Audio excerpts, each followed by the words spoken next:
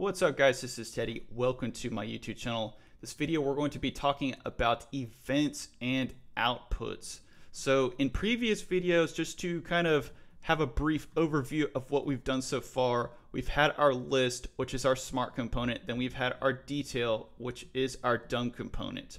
Dumb components are children of smart components 99% of the time. Never seen an instance where they weren't. So this is our smart, this is our dumb. We've talked about how to pass data down with input. Input is how is how we pass data down. There's a two-way road in every single one of these new hip frameworks like Angular or Java. You're passing data down a tree from your smart components and your dumb components and now we need to learn how to pass data up with our output.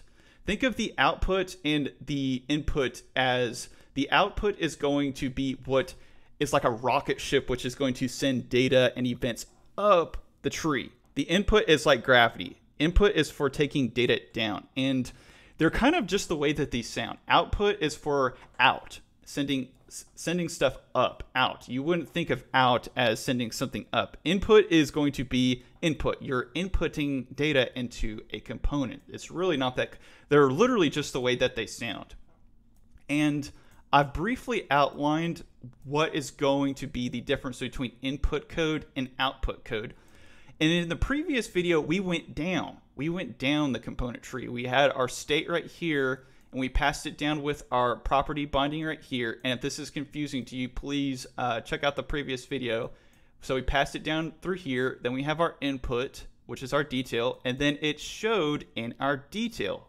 But now it's different. Now we need to take some type of event, and in this one, we're actually going to remove Pokemon. So the button right here is for removing, and I'm actually going to write that down because there's nothing to really indicate that.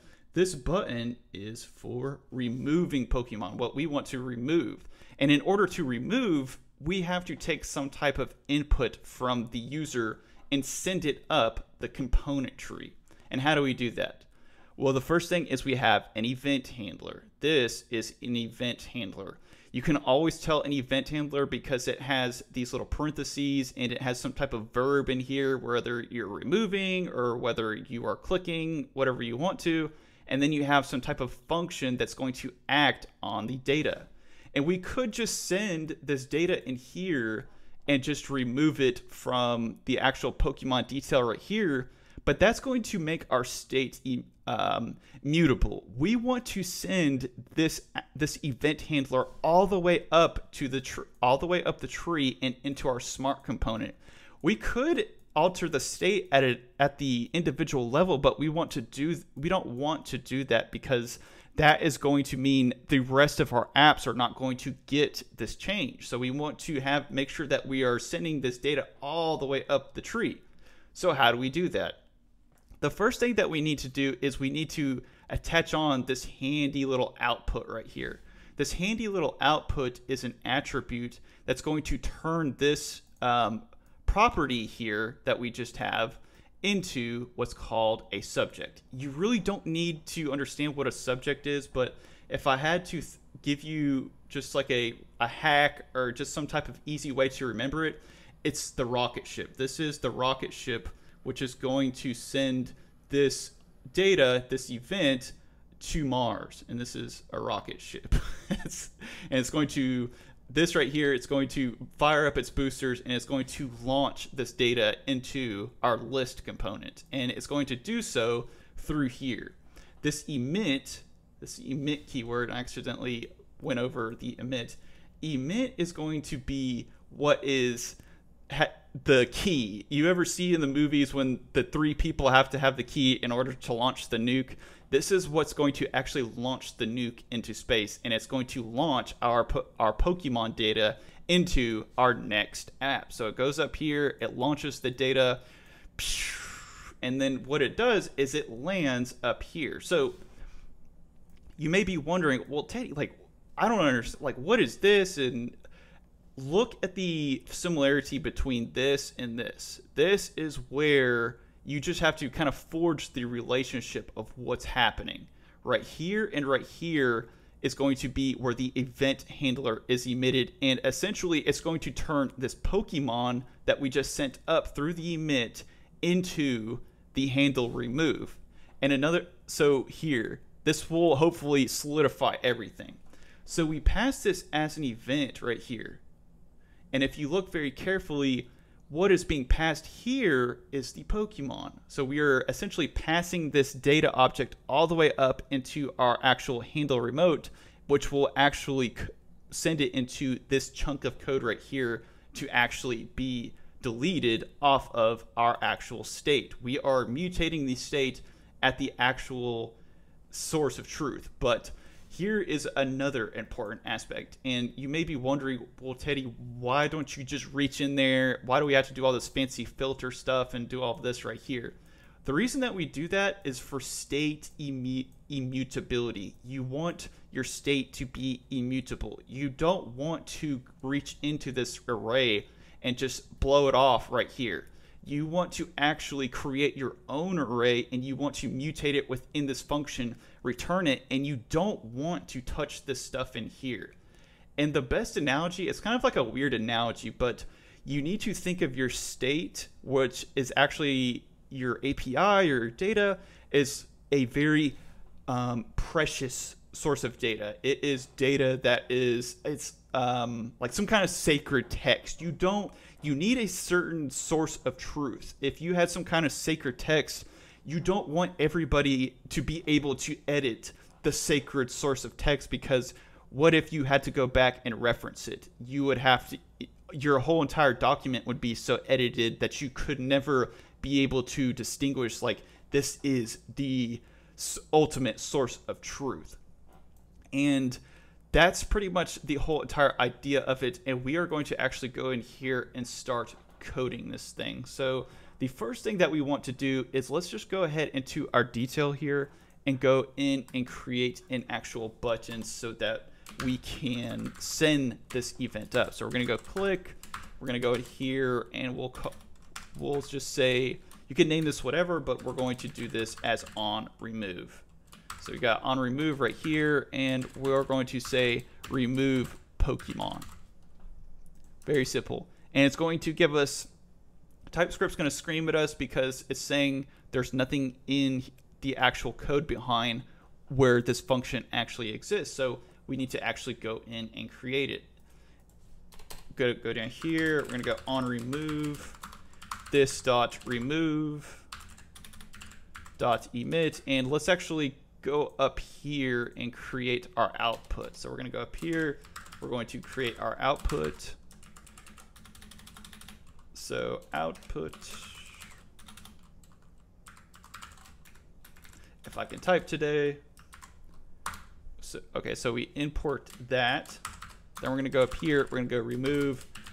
We're gonna bring in our event emitter. You really don't need to know that much about event emitters. Um, there's a lot going there. It's basically a subject or it's an observable underneath the hood.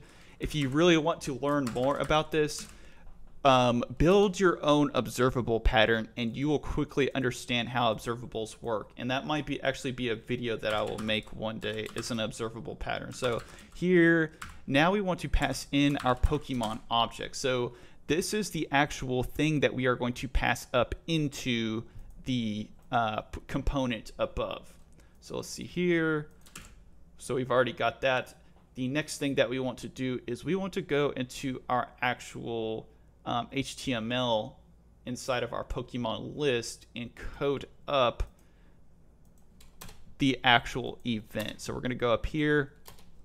Then what we're going to do is we're going to have remove and we're going to have this handle remove. So handle remove and we're going to go pass in our event. It's Pokemon detail. Now we need to actually code up what's going to do the actual removal of the Pokemon. And what we will do is we will go in here below our constructor. So we're going to go handle remove. Then we are going to pass in the event and for type checking and for learning sake, just so that people kind of know what's going on, we're going to make sure that we have type checking for this actual Pokemon. So we're going to have this dot Pokemons is equal to this dot Pokemons dot filter here. And then we're going to go in here. We're going to have Pokemon. And our type is going to be of Pokemon. Go in here. And what we're going to do is we are going to return a new array of Pokemon.id does not equal to the event ID. And this is what's actually going to return this and do do the actual removal. So it's essentially going to check and if it doesn't have the actual Pokemon ID, it's going to exclude it. We could just go in here.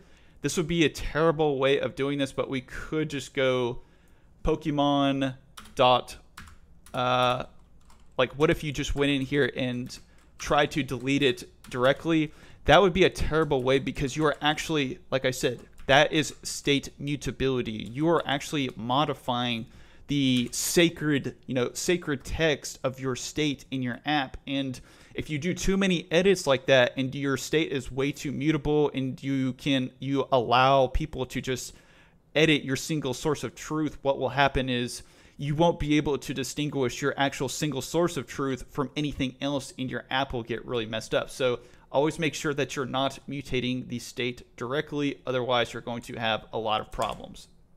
So we should be good to go. So we're gonna go up here, we're gonna go ng serve, and let's just see if our we can actually delete our Pokemon. So we go up here. Let me make sure. So compiled successfully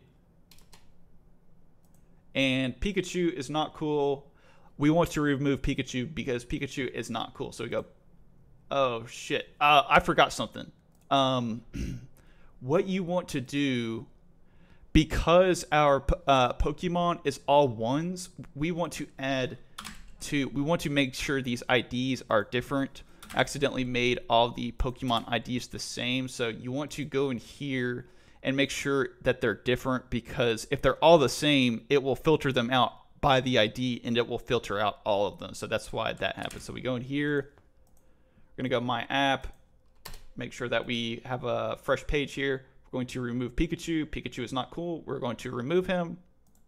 And boom, our uh, event worked.